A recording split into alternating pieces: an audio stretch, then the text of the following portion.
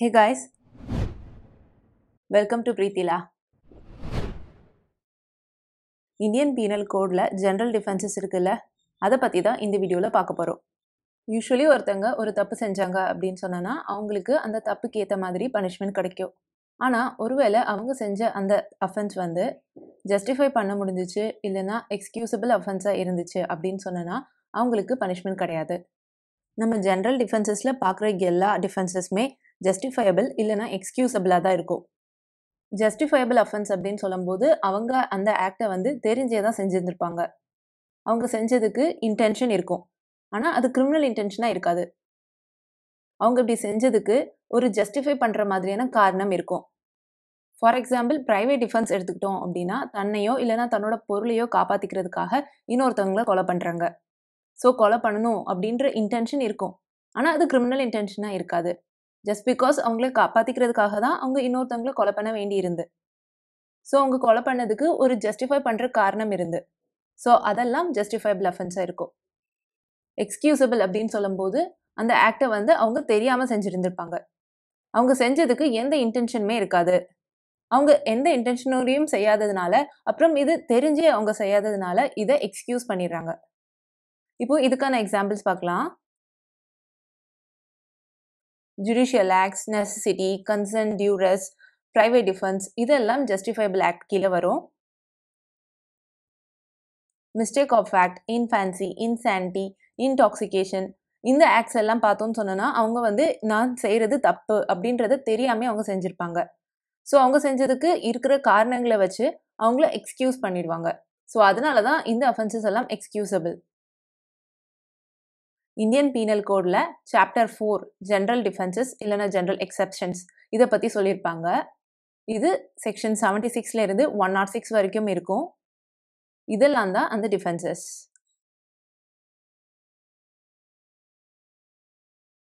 ஒருத்தங்க இந்த அஃபென்ஸ் செஞ்சுருக்காங்க. அதாவது ஒருத்தங்க கொலை செஞ்சுருக்காங்க அப்படின்னு சொல்லிட்டு ப்ராசிக்யூஷன் சைடில் சொல்லுவாங்க. ஆனால் நான் இப்படி கொலை செஞ்சேன்னு சொன்னால் எனக்கு இதுக்கான வேலிடான காரணம் இருக்குது நான் ஒரு ஜஸ்டிஃபைபிள் காரணத்தினால தான் இந்த ஆக்டை செஞ்சேன். அப்படின்னு சொல்ல வேண்டியது டிஃபென்ஸ் சைடில் தான். ஸோ டிஃபென்ஸ் தான் இதை ப்ரூவ் பண்ணணும். இந்த எக்ஸப்ஷன்ஸ்குள்ளே தான் என்னுடைய ஆக்ட் இருக்குது ஸோ அதனால நான் செஞ்சது அஃபென்ஸ் கிடையாது அப்படின்னு ப்ரூவ் பண்ண வேண்டியது டிஃபென்ஸ் சைடில் தான். ஸோ பேர்டன் ஆஃப் ப்ரூஃப் வந்து டிஃபென்ஸ் சைடில் தான் இருக்குது ப்ராசிக்யூஷன் சைடில் பேர்டன் ஆஃப் ப்ரூஃப் கிடையாது. இப்போ இந்த ஒரு ஒரு டிஃபென்ஸையும் நம்ம லைனாக பார்க்கலாம். முதல்ல மிஸ்டேக் ஆஃப் ஃபேக்ட் இது வந்து செக்ஷன் செவன்ட்டி சிக்ஸ் அப்புறம் செவன்ட்டி நைனில் சொல்லியிருப்பாங்க. ஒருத்தவங்க ஒரு ஆக்ட் செய்கிறாங்க ஆனால் அவங்க வந்து ஃபேக்டாக தப்பாக நினச்சிக்கிறாங்க. ஸோ ஃபேக்ட் ஒரு விஷயம் இருக்குது ஆனால் அவங்க இன்னொரு விஷயத்த ப்ரிசியூம் பண்ணிக்கிறாங்க. ஸோ அதுபடி அவங்க ஆக்ட் பண்ணிடுறாங்க. இதை பற்றி பார்க்குறதுக்கு முன்னாடி நம்ம இந்த மேக்ஸிமம் பற்றி பார்க்கணும் இக்னோரன்ஷியா ஃபேக்டை எக்ஸ்கியூசட் இக்னோரன்ஷியா லெஜிஸ் நெமினம் எக்ஸ்கியூசட் இல்லைனா இக்னோரன்ஷியா லெஜிஸ் நான் எக்ஸ்கியூசட் அப்படின்னு சொல்லுவாங்க. இதுக்கு அர்த்தம் ignorance of fact is an excuse ignorance of law is not an excuse இப்போ ஒருத்தங்க எனக்கு ஃபேக்ட்ஸ் தெரியல அதனால நான் தப்பு செஞ்சுட்டேன் அப்படின்னு சொன்னாங்கன்னா அதை எக்ஸ்கியூஸ் பண்ணிடுவாங்க. ஆனால் எனக்கு சட்டம் தெரியல அதனால நான் தப்பு செஞ்சுட்டேன் அப்படின்னு சொன்னால் அதுக்கு எக்ஸ்கியூஸ் கிடையாது. இப்போ ஃபார் எக்ஸாம்பிள் இப்போ ஒருத்தங்க மரத்துக்கு பின்னாடி இருந்த ஒரு மனுஷனை சுட்டுறாங்க. ஆனால் அவங்க நினச்சிக்கிறாங்க மரத்துக்கு பின்னாடி ஏதோ ஒரு வைல்ட் அனிமல் இருந்திருக்கு அது தன்னை அட்டாக் பண்ண போகுது அப்படின்னு நினச்சி அவங்க சுட்டுறாங்க. ஸோ இந்த இடத்துல பார்த்தோன்னா மிஸ்டேக் ஆஃப் ஃபேக்ட் ஸோ அவங்க வந்து ஒரிஜினலாக ஒன்று இருக்குது ஆனால் அவங்க இன்னொரு விஷயத்த அசியூம் பண்ணிக்கிட்டாங்க. ஸோ இது mistake of fact mistake of law அப்படின்னா சட்டம் தெரியல அப்படின்னு சொல்லி நான் தப்பு செஞ்சேன்னு சொன்னேன்னா அதுக்கு எனக்கு எக்ஸ்கியூஸ் கிடையாது. இப்போ பார்த்தோன்னா ஃபேக்ட் ஒன்று இருக்குது ஆனால் இவங்க இன்னொரு விஷயத்த அதுதான் உண்மை அப்படின்னு சொல்லி நம்புகிறாங்க ஸோ இவங்களுடைய ஒப்பீனியன் இல்லைன்னா இவங்களுடைய பிலீஃப் வந்து வேறு மாதிரி இருக்குது ஸோ அதனை அந்த பிலீஃபையும் அந்த ஒப்பீனியனையும் நம்பி அவங்க ஆக்ட் பண்ணுறாங்க ஆனால் இந்த பிலீஃப் ஆர் இந்த ஒப்பீனியன் வந்து இன்னசென்ட் பிலீஃபாக இருக்கணும். எந்த கிரிமினல் இன்டென்ஷனோடையும் இருக்கக்கூடாது. அவங்களுடைய பிலீஃப் கண்டிப்பாக இன்னசென்ட்டாக இருக்கணும் போனஃபைடாக இருக்கணும் அண்ட் ரீசனபிளாக இருக்கணும். அவங்க சொல்கிற அந்த கேஸை பார்த்தனா அவங்க பிலீவ் பண்ணதுக்கு ஓகே அதுக்கு காரணம் சரியாக தான் இருந்திருக்கணும். அவங்க பிலீவ் பண்ணது சரிதான் அப்படின்ற மாதிரி இருக்கணும். அண்ட் இவங்களுடைய ஒப்பீனியன் ஆர் பிலீஃப் வந்து மிஸ்டேக் ஆஃப் ஃபேக்ட் தான் இருக்கணும். மிஸ்டேக் ஆஃப் லாவாக இருக்கக்கூடாது. மிஸ்டேக் ஆஃப் ஃபேக்டாக இருந்துச்சுன்னா தான் எக்ஸ்கியூஸ் உண்டு. லாவாக இருந்தால் எக்ஸ்கியூஸ் கிடையாது. இப்போ இதுக்கான எசென்ஷியல்ஸ் என்னதெல்லாம் பார்க்கலாம் ஸோ இவங்க ஒரு ஆக்ட் செய்கிறாங்க அதுக்கு மிஸ்டேக் ஆஃப் ஃபேக்ட் தான் காரணம். ஸோ இந்த மிஸ்டேக் ஆஃப் ஃபேக்டாக தான் இருக்கணும் நாட் லாவாக இருக்கக்கூடாது. ஸோ மிஸ்டேக் ஆஃப் ஃபேக்ட் தானே எக்ஸ்கியூஸ் பண்ணப்படும். மிஸ்டேக் ஆஃப் லா வந்து எக்ஸ்கியூஸ் கிடையாது.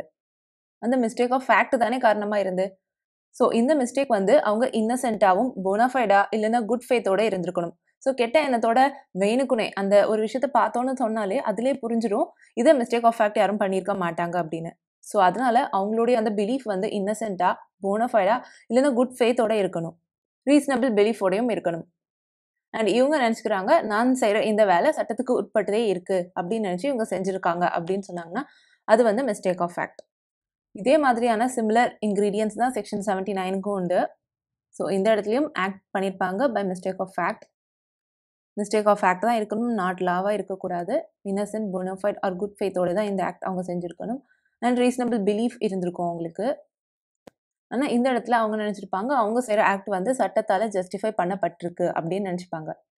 இப்போது இதுக்கு சில எக்ஸாம்பிள்ஸ் பார்க்கலாம். இதில் பார்க்க போகிற நம்ம நிறைய கேசஸ் வந்து இங்கிலாண்டில் டிசைட் பண்ண கேசஸாக இருக்கும். இல்லைனா அப்பீல் ப்ரிவி கவுன்சிலில் டிசைட் பண்ண மாதிரி கேசஸ் இருக்கும். ஆர் வெர்சஸ் பிரின்சஸ் இந்த கேஸில் இந்த அக்யூஸ்டு பர்சனும் இன்னொரு கேர்ளும் வந்து லவர்ஸ் ஆனால் இதில் என்ன பிரச்சனை அப்படின்னா இந்த கேர்ளுடைய பேரண்ட்ஸ் வந்து இவங்க மேரேஜுக்கு ஓகே சொல்லியிருக்க மாட்டாங்க. ஸோ அதனால இந்த அக்யூஸ்ட் வந்து இந்த கேர்ளை கூட்டிகிட்டு ஓடி போயிடுவாங்க ஆனால் இதில் என்ன ப்ராப்ளம் அப்படின்னா அந்த கேர்ள் வந்து மேஜர் கிடையாது. அவள் ஒரு மைனர் அதனால இவர் மேலே அப்டக்ஷன் சார்ஜ் ஃபைல் ஆயிருக்கும். அதாவது ஆள் கடத்தல். ஸோ அதனால இவர் டிஃபென்ஸ் சொல்கிறாரு என்னன்னா மிஸ்டேக் ஆஃப் ஃபேக்ட் ஆகிட்டு. நான் வந்து இந்த கேர்ள் மேஜர் அப்படின்னு தான் நினச்சேன். அதனால தான் நான் கூட்டிகிட்டு போனேன். இல்லைன்னா நான் கூட்டிகிட்டு போயிருக்க மாட்டேன். ஸோ இது மிஸ்டேக் ஆஃப் ஃபேக்ட் தான் நடந்திருக்கு. ஸோ என்ன எக்ஸ்கியூஸ் பண்ணணும்? அப்படின்னு சொல்லி கேட்குறாரு ஆனால் கோர்ட் சொல்கிறாங்க இந்த இடத்துல பார்த்தோன்னு சொன்னோன்னா உன்னுடைய ஆக்ட் உன்னுடைய இன்டென்ஷன் வந்து தப்பாக தான் இருக்குது உன்னுடைய ஆக்ட் வந்து ராங்ஃபுல்லாக இம்மாரலாக அண்ட் கிரிமினல் இன்டென்ஷனோட தான் நீ நடந்திருக்க. ஸோ அதனால உனக்கு இந்த எக்ஸ்கியூஸ் கிடையாது அப்படின்னு கோர்ட் சொல்லிடுறாங்க. இப்போ நெக்ஸ்ட் கேஸ் பார்க்கலாம். ஆர் வெர்சஸ் டால்சன் இந்த கேஸில் இந்த டால்சன் இருக்காங்க இல்லை ஸோ இவங்க வந்து இன்னொருத்தவங்கள மேரேஜ் பண்ணியிருப்பாங்க. So husband and wife marriage பண்ணிவிட்டு ஆனால் சேர்ந்தே வளர்ந்துருக்க மாட்டாங்க. ஹஸ்பண்ட் வந்து எங்கேயோ போயிடுவார் மேரேஜ்க்கு அப்புறம். அப்புறம் திரும்பியே வந்திருக்க மாட்டார். ரொம்ப வருஷங்கள் போயிருக்கும் ஆனால் கூட திரும்பியே வந்திருக்க மாட்டார். ஸோ ஒய்ஃபை வந்து அவர் டெசர்ட் பண்ணிட்டு போயிடுவார் ஸோ ஒய்ஃபும் வந்து ரொம்ப நாள் வெயிட் பண்ணிகிட்டே இருப்பாங்க வெயிட் பண்ணிகிட்டே இருப்பாங்க. ஆனால் ஹஸ்பண்ட் வந்திருக்கவே மாட்டார். ஸோ அதனால ஒரு பாயிண்ட்ல அவங்க வந்து ரீமேரேஜ் பண்ணிக்கலாம் அப்படின்னு யோசிச்சு ரீமேரேஜ் பண்ணிக்கிறாங்க. ஸோ இப்போ இவங்க திருப்பி மேரேஜ் பண்ணினாங்க இல்லை? அதனால இவங்க மேலே பைகாமி சார்ஜ் இருக்கும். இப்போ லீகல் டெத் அப்படின்ற கான்செப்ட் இருக்குல்ல? இப்போ ஒருத்தங்க காணாமல் போயிட்டாங்க அப்படின்னு சொன்னோன்னா செவன் இயர்ஸ் தாண்டினதுக்கு அப்புறமே அவங்க வந்து இறந்துட்டாங்க அப்படின்னு சொல்லுவாங்க. அதாவது லீகலி ஹீஸ் டெட் அப்படின்னு அர்த்தம். ஸோ இந்த செவன் இயர்ஸ் பீரியட் முடிகிறதுக்குள்ள நீங்கள் வந்து ரீமேரேஜ் பண்ணியிருக்கீங்க. ஸோ அதனால இது பைகாமி அஃபென்ஸ் அப்படின்னு சொல்கிறாங்க ஆனால் இந்த ஒய்ஃப் சைடில் என்ன சொல்கிறாங்க நான் ரொம்ப நாள் அவருக்காண்டி வெயிட் பண்ணிகிட்டே இருந்தேன். ஆனால் அவர் வரவே இல்லை. ஸோ அதனால ஒரு பாயிண்ட்க்கு மேலே நான் வெயிட் பண்ண முடியாமல் ரீமேரேஜ் பண்ணிக்கலாம்னு யோசித்தேன் இதில் என்ன தப்பு இருக்குது அப்படின்னு ஒய்ஃப் சைடில் கேட்குறாங்க ஸோ கோர்ட் இந்த கேஸை பார்த்துட்டு சொல்கிறாங்க ஒய்ஃபோட ஆக்டை பார்க்கும்போது அது எந்த ராங்ஃபுல்லான இன்டென்ஷனோடையும் இருந்த மாதிரி இல்லை அப்படின்னு சொல்கிறாங்க ஸோ அவங்களோட ஆக்ட் ரொம்ப போனோஃபைடாகவும் குட் ஃபெய்த்தோடையும் தான் இருந்த மாதிரி இருக்குது ஸோ அதனால இந்த சார்ஜ் அவங்களுக்கு கிடையாது அப்படின்னு சொல்லிடுறாங்க. So case dismissed state of MP versus Ramaswamy இந்த கேஸில் இந்த அக்யூஸ்டு பர்சன் வந்து ஒரு மனுஷனை போய் சுட்டுடுறாரு. ஹைனா அப்படின்னு நினச்சிட்டு. ஹைனா அப்படின்னா கழுத புலி அப்படின்னு சொல்லுவாங்க இல்லை. ஸோ அதுவாக நினச்சிட்டு ஒரு மனுஷனை போய் சுட்டுறாரு. அண்ட் இதை அவர் வேலிடாக ப்ரூவும் பண்ணுறதுனால கோர்ட் இவருடைய டிஃபென்ஸை அக்செப்ட் பண்ணிக்கிறாங்க. கேஷோ சாகு வெர்சஸ் சாலிகிராம் ஷா. இந்த கேஸில் ஒருத்தர் வந்து அவருடைய வண்டியில் அரிசியை வந்து எடுத்து போயிட்டுருக்காரு. ஸோ இதை பார்த்த போலீஸ் வந்து அவரை நிறுத்த சொல்கிறாரு ஆனால் அவர் நிறுத்தாமல் அவர் பாட்டுக்கு போயிட்டே இருக்காரு. ஸோ இவர் நிற்காம போனதை பார்த்து அந்த போலீஸ்க்கு சந்தேகமாகிறது ஒருவேளை இவர் வந்து இந்த அரிசியை திருட்டுத்தனமாக எடுத்துகிட்டு போகிறாரோ அது ஸ்மகிள்டு ரைஸாக இருக்குமோ அப்படின்னு அவருக்கு சந்தேகம் வந்து. ஸோ இதனால் அவரை அரெஸ்ட் பண்ணி சார்ஜ் பண்ணிடுறாரு. ஆனால் அதுக்கப்புறம் விசாரணைக்கு அப்புறம் தான் தெரியுது. அது வந்து திருட்டுத்தனமாலாம் எடுத்துகிட்டு போனது கிடையாது. அவர் கரெக்டாக காசு கொடுத்து எல்லாம் தான் வாங்கிட்டு போகிறாரு அது அவருக்கு சொந்தமான அரிசி தான் அப்படின்னு தெரிய வருது. ஸோ இந்த இடத்துல இவர் வந்து போலீஸோட ஆக்டை கண்டம் பண்ணுறாரு ஆனால் கோர்ட் சொல்கிறாங்க அந்த இடத்துல பார்க்கும்போது கண்டிப்பாக யாராக இருந்தாலும் அது திருட்டு பொருளாக தான் நீங்கள் கொண்டுட்டு போகிறீங்க அந்த மாதிரி தான் தோணி இருந்திருக்கும் ஏன்னா நீங்கள் வண்டியை நிறுத்துன்னு சொல்லும்போது நிறுத்தி இருந்திருக்கலாம் ஆனால் நீங்கள் நிறுத்தாமல் போகும்போது யாருக்கா இருந்தாலும் அப்படி சந்தேகம் தான் வரும் அப்படின்னு கோர்ட் சொல்கிறாங்க ஸோ இந்த இடத்துல அந்த போலீஸ் வந்து மிஸ்டேக் ஆஃப் ஃபேக்ட் பண்ணியிருந்தது சரிதான் அப்படின்னு அதை ஜஸ்டிஃபை பண்ணுறாங்க இப்போ அடுத்த செக்ஷன் பார்க்கலாம். ஜுடிஷியல் ஆக்ட்ஸ் இது சொல்கிறது செக்ஷன் செவன்ட்டி செவன் அப்புறம் seventy eight section seventy seven act of a judge when acting judicially அதாவது ஜட்ஜ் வந்து ஜுடிஷியலி அவங்க வந்து ஆக்ட் பண்ணும்போது ஏதாவது ஆர்டர் போட்டு ஸோ இதனால யாராவது அஃபெக்ட் ஆனாங்க அப்படின்னு சொன்னோன்னா ஸோ அவங்க வந்து ஜுடிஷியலி அந்த ஆக்டை செஞ்சதுனால ஹீ வில் பி ப்ரொடெக்டட் அப்புறம் செக்ஷன் செவன்டி எயிட் ஸோ கோர்ட்டோட ஆர்டர் மூலமாக ஒருத்தவங்க ஒரு ஆக்ட் செய்கிறாங்க அப்படின்னு சொன்னாங்கன்னா அது அஃபென்ஸ் கிடையாது. அந்த ஆக்ட் வந்து சட்டத்தால் ப்ரொடெக்ட் பண்ணப்படுது. கபூர் சாந்த் வெர்சஸ் ஸ்டேட் இந்த கேஸில் ஹஸ்பண்ட் வந்து ஒய்ஃபோடைய ப்ராப்பர்ட்டியை அவங்களுடைய பெர்மிஷன் இல்லாமல் ஃபோர்ஸபிளாக எடுத்துகிட்டு போகிறாரு ஆனால் அவர் ஜுடிஷியல் ஆர்டர் மூலமாக தான் ஆக்ட் பண்ணுறாரு ஸோ அதனால் அவருடைய ஆக்ட் வந்து இந்த இடத்துல ஜஸ்டிஃபைடு இப்போ அடுத்த செக்ஷன் பார்க்கலாம். ஆக்சிடெண்ட் இதை சொல்கிறது section eighty accident in doing a lawful act so சட்டப்படியான ஒரு வேலையை செய்யும்போது ஏதோ ஒரு ஆக்சிடென்ட் ஆயிட்டு அப்படின்னு சொன்னோன்னா இது ஒரு வேலிடான டிஃபென்ஸ் இதுக்கான எசென்ஷியல்ஸ் என்னதெல்லாம் இருக்கணும்னு பார்க்கலாம். ஸோ ஆக்சிடென்ட் ஆகிட்டு அவங்களோட ஆக்ட் வந்து ஒரு ஆக்சிடென்ட் தான் காரணம் அப்படின்னு அவங்க டிஃபென்ஸ் எடுக்கிறாங்கன்னு சொன்னால் அவங்களோட ஆக்டில் வந்து எந்த கிரிமினல் இன்டென்ஷனும் இருக்கக்கூடாது. அண்ட் அவங்க இந்த மாதிரி ஆக்சிடென்ட் நடக்க போகுது அப்படின்ற நாலேஜ் வந்து அவங்களுக்கு இருக்கக்கூடாது. அண்ட் அவங்க சைடில் அவங்க ப்ராப்பர் கேர் அண்ட் காஷனோட இருந்திருக்கணும். அவங்களே ரொம்ப கேர்லெஸ்ஸாக ரெக்லெஸ்ஸாக இருந்துட்டு எந்த ஆக்சிடெண்ட்டை காஸ் பண்ணியிருக்க கூடாது. ஸோ அவங்க சைடில் நெக்லிஜென்ட் இருக்குன்னு சொன்னால் அவங்க இந்த டிஃபென்ஸை எடுக்க முடியாது. அவங்களுக்கு இந்த டிஃபென்ஸோட பெனிஃபிட் கிடைக்காது. அவங்க வந்து ஒரு லாஃபுல் ஆக்டை லாஃபுல் மேனரில் லாஃபுல் மீன்ஸில் செஞ்சுருக்கணும். ஸோ ஒரு தப்பான வேலையை அவங்க செஞ்சுட்டு ஸோ அந்த இடத்துல ஏதோ ஒரு ஆக்சிடென்ட் நடந்திருக்கலாம். உண்மையிலேயே அந்த இடத்துல ஆக்சிடென்ட் தான் நடந்திருக்கலாம்.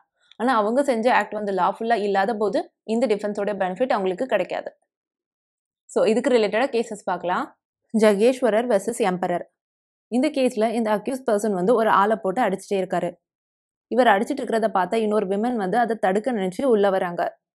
ஆனால் அந்த விமன் கையில் ஒரு குழந்தை இருக்குது ஸோ இவர் அடிச்சிட்டு இருந்தார் இல்லை அது தெரியாமல் அந்த குழந்தை மேலே பட்டு அந்த குழந்தை இறந்து போயிடுது ஸோ இந்த இடத்துல இவர் வந்து ஆக்சிடென்ட்டை டிஃபென்ஸாக சொல்கிறாரு ஸோ நான் இவரை தானே அடிச்சிட்டு இருந்தேன். இந்த விமன் வந்து தெரியாமல் நடுவில் வந்ததுனால நான் ஆக்சிடெண்ட்டாக கை தவறி அந்த குழந்தை மேலே பட்டு அந்த குழந்தை இறந்துட்டு இதை நான் தெரிஞ்சே செய்யலை இது ஆக்சிடென்ட் தான் அப்படின்னு சொல்லி சொல்கிறாரு ஆனால் கோர்ட் இவருடைய டிஃபென்ஸை அக்செப்ட் பண்ணல. பிகாஸ் இவருடைய ஆக்டே பார்த்தோன்னா ராங்ஃபுல்லாக இருக்குது ஸோ அவர் வந்து இன்னொருத்தரை இப்படி அடிச்சுட்டு இருக்காருன்றதே ஒரு தப்பான ஆக்ட் தான். ஸோ அதுக்கு நடுவில் இன்னொரு ஆக்சிடென்ட் நடந்துட்டு அப்படின்னு சொன்னோன்னா இவங்களுக்கு இந்த டிஃபென்ஸோட பெனிஃபிட் கிடைக்காது. ஸோ உன்னுடைய ஆக்டே ராங்ஃபுல்லாக இருக்குன்றதுனால நீ வந்து இந்த குழந்தை இறந்ததுக்கு லயபிள் அப்படின்னு சொல்கிறாங்க இப்போ இதுக்கு அடுத்த செக்ஷன் பார்க்கலாம். நெசசிட்டி செக்ஷன் எயிட்டி ஒன்ல சொல்லியிருப்பாங்க. Act likely to cause harm but done without criminal intent and to prevent other harm இவங்க ஒரு ஆக்ட் செய்கிறாங்க அந்த ஆக்ட் தப்பு தான் ஆனால் அவங்க செஞ்சதுக்கு காரணம் என்ன அப்படின்னா இதோட ஒரு பெரிய ஹார்ம் நடக்கிறதா இருந்தது. ஸோ அதை தடுக்கிறதுக்காக இவங்க இந்த ஆக்டை செய்ய வேண்டியதாக ஆயிட்டு இந்த தப்பை அவங்க செய்ய வேண்டியதாக ஆயிட்டு. ஸோ இது ஒரு நெசசிட்டி காரணமாக அவங்க இந்த அஃபென்ஸை செஞ்சுட்டாங்க. அப்படின்னு சொல்கிறதா இந்த டிஃபென்ஸ் ஸோ இதுக்கான எசென்ஷியல்ஸ் இந்த டிஃபென்ஸ் கூட ஒரு ஜஸ்டிஃபையபிள் டிஃபென்ஸ் தான். அதாவது இவங்க செஞ்ச ஆக்ட் வந்து நோயிங்காக தான் செஞ்சுருப்பாங்க. அவங்களுக்கு ஒரு இன்டென்ஷன் இருக்கும். ஆனால் கிரிமினல் இன்டென்ஷனாக அது இருக்காது. சி இன்னொருத்தவங்களை கொலை பண்ணணும் அப்படின்ற கிரிமினல் இன்டென்ஷன் அவங்களுக்கு இருக்காது. பட் நிறைய ஆட்களை காப்பாற்றுறதுக்காண்டி அவங்க ஒருத்தரை கொல்ல கொள்கிற மாதிரி சுச்சுவேஷன் ஆகிருக்கும் ஸோ அதனால தான் இது ஜஸ்டிஃபைபிள் டிஃபென்ஸ் இந்த எக்ஸாம்பிள் நிறைய இடத்துல நீங்கள் கேட்டிருப்பீங்க. இது ஒரு ரயில்வே ட்ராக் அப்படின்னு அசியூம் பண்ணிக்கோங்க. ஸோ இந்த இடத்துல ட்ரெயின் வந்துட்டு இருக்கு. ஸோ ட்ரெயின் இந்த இடத்துல இப்படி ஸ்ட்ரெயிட்டாக போகிற மாதிரி இருக்கு.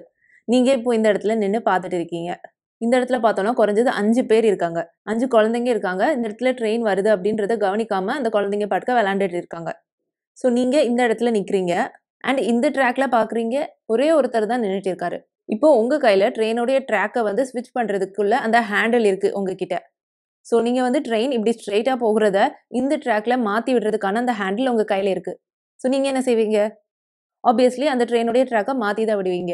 ஏன்னா ட்ரெயின் இப்படி ஸ்ட்ரெயிட்டாக போயிட்டு அப்படின்னு சொன்னோன்னா இவ்வளோ குழந்தைங்க இறந்து போயிடுவாங்க ஆனால் ட்ரெயினுடைய ட்ராக்கை இப்படி மாற்றி விடும்போது இந்த ஒரே பர்சன் மட்டும்தான் இறப்பாங்க. ஸோ ஆக்சிடென்ட் இந்த ஒரு பர்சனுக்கு தான் நடக்கும். ஸோ இதில் அஞ்சு பேர் காப்பாற்றப்படுவாங்க ஸோ இதுதான் நெசசிட்டி இந்த இடத்துல உங்களுக்கு இந்த பர்சனை கொலை பண்ணணும் அப்படின்ற கெட்ட இன்டென்ஷன் எதுவுமே கிடையாது. இன்ஃபேக்ட் அவரை கொலை பண்ணணும் அப்படின்ற இன்டென்ஷனுமே உங்களுக்கு கிடையாது. பட் இவ்வளோ பேரை காப்பாற்றுறதுக்காக இவங்களே வந்து சாக்ரிஃபைஸ் பண்ணுற மாதிரியான சுச்சுவேஷன் ஆகிட்டு. ஸோ இவ்வளோ பேரை காப்பாற்றுறதுக்காக நீங்கள் இந்த ஆக்டை செஞ்சு தான் ஆகணும். ஸோ இதுதான் நெசசிட்டி ஸோ நீங்கள் செஞ்சது என்னதான் தப்பாக இருந்தாலும் கூட அதை ஜஸ்டிஃபை பண்ணுறதுக்கு ஒரு காரணம் இருக்குது ஜஸ்டிஃபை பண்ணுற மாதிரி ஒரு காரணம் இருக்குது அப்படின்றதுனால இது ஒரு வேலிடான எக்ஸப்ஷன் ஸோ இந்த டிஃபென்ஸை ஒருத்தங்க எடுத்துகிட்டு அதை வேலிடாக ப்ரூவ் பண்ணினாங்க. அவங்களுடைய காசு வந்து சரியாக தான் இருந்து ஜஸ்டிஃபை பண்ணுற மாதிரி இருந்து அப்படின்னு சொன்னோன்னா இந்த டிஃபென்ஸ் வந்து அவங்களுக்கு கண்டிப்பாக பெனிஃபிட் கொடுக்கும். அடுத்த எசென்ஷியல் வந்து அவங்க ஆக்ட் வந்து செஞ்சுருப்பாங்க without a criminal intention so அவங்களோட ஆக்ட் வந்து நல்ல எண்ணத்தோடு தான் அவங்க செஞ்சுருப்பாங்க. ஸோ கிரேட்டர் ஹார்ம் நடக்க விடாமல் அவங்க தடுக்கிறதுக்காக இதை செஞ்சுருப்பாங்க. இந்த ஆக்ட் மூலமாக அவங்க வந்து இன்னொரு பர்சனுக்கோ இல்லைன்னா ப்ராப்பர்ட்டிஸ்க்கோ வந்து டேமேஜ் விளைவிக்கிற மாதிரியான ஆக்ட் அவங்க செஞ்சிருப்பாங்க. இந்த இடத்துல நம்ம ஒரு இம்பார்ட்டண்ட்டான லீகல் மேக்ஸிம் பார்க்க வேண்டியிருக்கு. நெசசிட்டஸ் நான் ஹேபட் லீகம் இதுக்கு அர்த்தம் நெசசிட்டி நோஸ் நோ லா இந்த ரயில்வே ட்ராக் கேஸ் பார்த்தோம் இல்லை? ஸோ அந்த மாதிரியான சுச்சுவேஷனில் நம்ம ஆட்களை காப்பாற்றணும் அப்படின்ற நினப்பு மட்டுமே இருக்கும். அதாவது நிறைய ஆட்களை காப்பாற்றணும் அப்படின்ற நினப்பு மட்டுமே இருக்கும். ஸோ இதுக்காக ஒருத்தருடைய லைஃப் போகுது அப்படின்ற நினைப்பு இருக்காது.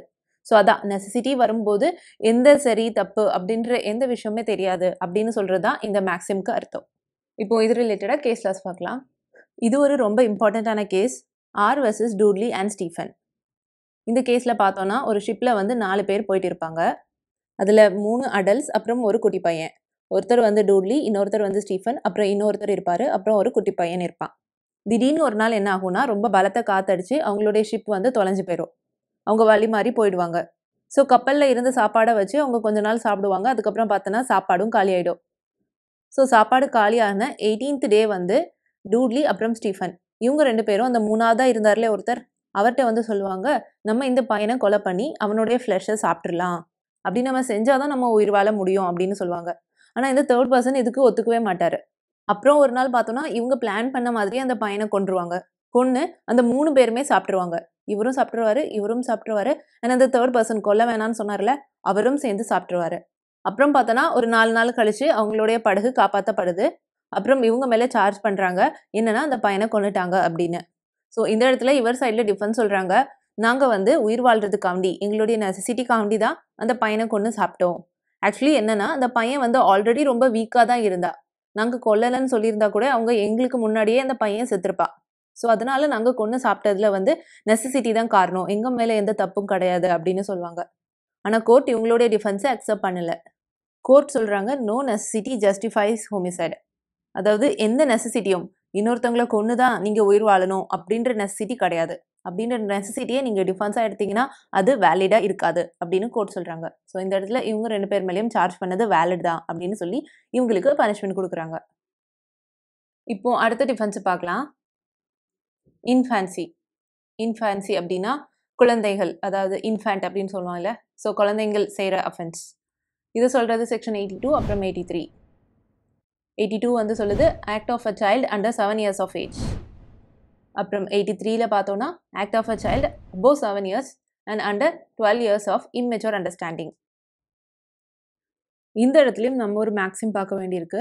டோலி இன்கேபேக்ஸ் இதுக்கு அர்த்தம் டோலி அப்படின்னா இன்ஃபென்ட் குழந்தை அப்படின்னு அர்த்தம். இன்கேபேக்ஸ் அப்படின்னா அந்த குழந்தைக்கு வந்து எந்த கேப்பபிலிட்டியும் கிடையாது. ஒரு அஃபென்ஸ் பண்ணுறதுக்கு அப்படின்னு அர்த்தம். ஸோ குழந்தைங்க எந்த ஆக்டை செஞ்சாலும் சரி அது ஒரு அஃபென்ஸாக கிடையாது. அவங்க கொலையே பண்ணாலும் சரி ஏழு வயசுக்கு குறைவாக இருக்கிற குழந்தைங்க கொலையே பண்ணாலும் சரி it's not an offence at all and seven to twelve years இந்த ஏஜில் இருக்கிறவங்க இந்த மாதிரியான சீரியஸ் அஃபென்ஸ் பண்ணும்போது இம்மெச்சூர் அண்டர்ஸ்டாண்டிங்னால மட்டுமே அந்த அஃபென்ஸ் பண்ணியிருந்தாங்க அப்படின்னு சொன்னால் அது வந்து எக்ஸ்கியூஸ் தான். ஏன்னா எல்லா இடத்துலையும் அந்த குழந்தைங்களோட மெச்சூரிட்டி லெவல் வந்து ஒரே மாதிரி இருக்காது.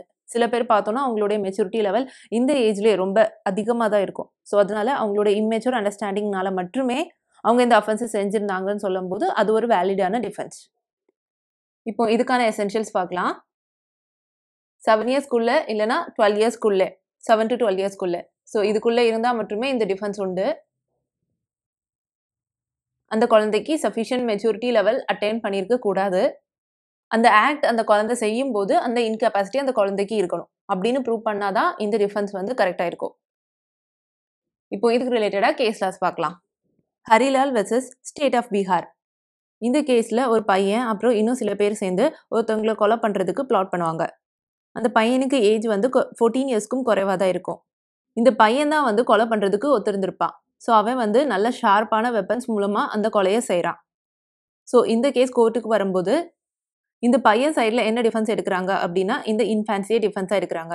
ஸோ அவனுடைய ஏஜ் வந்து ஃபோர்டீன் தானே இருக்குது ஸோ வந்து அவனுக்கு இன்கெப்பாசிட்டி இருக்குது இன்ஃபேன்சி தான் ரீசன் ஸோ அதனால் அவனை வந்து எக்ஸப்ஷன் பண்ணணும் அப்படின்னு சொல்லி கேட்குறாங்க ஆனால் கோர்ட் சொல்கிறாங்க அவன் இந்த அளவுக்கு ஷார்ப்பான வெப்பன்ஸ் மூலமாக கொலை பண்ணியிருக்கான்.